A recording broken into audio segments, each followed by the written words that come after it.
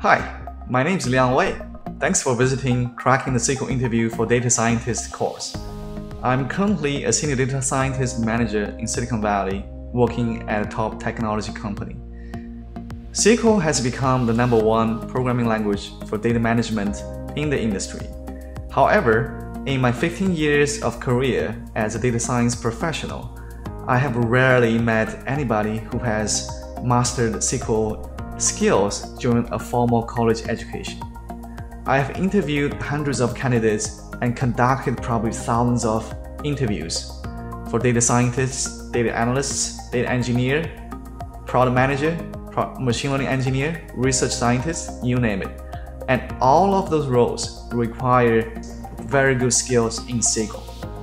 As a hiring manager or part of hiring committee, very often we treat SQL as number one programming language for data analytics professional because it is simply the most important skills in my view to really make your work much more productive.